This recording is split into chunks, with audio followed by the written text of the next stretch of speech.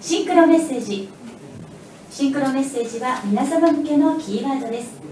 心の天気予報知っておけば対処もできる。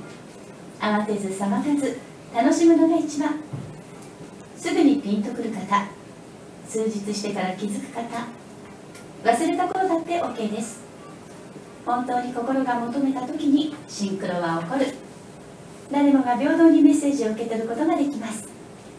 どれだけ心を敏感にしてキャッチするか。ただそれだけです。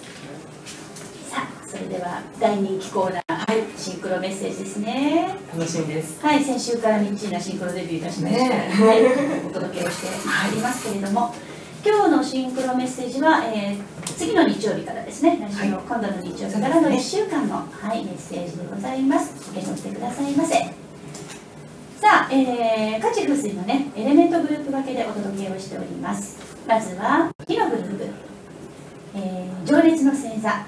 お羊座。獅子座。伊手座。はーい。はーい。このスタジオにはそうなんですい火の女子が。燃えてますよさあ火のグループは表向きには問題はないのですが本人は少し寂しい思いの中に身を置くことになりそうです。ってなんでしょう。深いね。深いですね。うん考えるとうん思い当たることもあるかも。まあ、今度の練習会の、ね、メッセージだから、もしかしたら、そういうことかなって思うかもしれないね、出来事があるかもしれないですね。う 寂しくない方がいいけどね。んはい心得ときます。はい。さあ、地のグループ、安定の星座、青牛座、乙女座、ヤギ座。ここは乙女座の3つなんですね、地のグループ。はい。えー、地のグループは、お反発が周りに出てきそうですって。うーんまあ、それも時にはね大事なこととして冷静に受け止めてくださいということですね。まあそういつもいつも順ね順風満帆だったらそれはそれでいいんだけど、うん反発があってまあ折り合いつけて乗り越えるからこそうん成長があるわけ。そうですよね私超ポジティブ。ポジティブポジティブだわ頑張ろうね来週うちのグループね。そうですねはい。さあ次ですね風のグループ、えーこちらは伝達の星座です。双子座、天秤座、水亀座。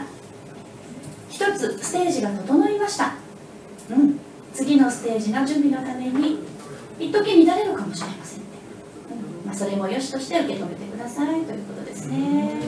雨降って地固まるじゃないけど。そうですねね、何かがやっぱり整う時ってそういうことがそうですよねあるからねうんじゃあその何かあった時は何かのその成功へのサインということですねそうそうそう、あんまり驚かずに受け止めてくださいねということですね。はい。さあ次です。水のグループ、感情の星座、カニ座、サソリ座、魚座。こちらは余分なものを整理しましょう。ゆっくりじっくり進んでまいりましょうということですね。片付けてね。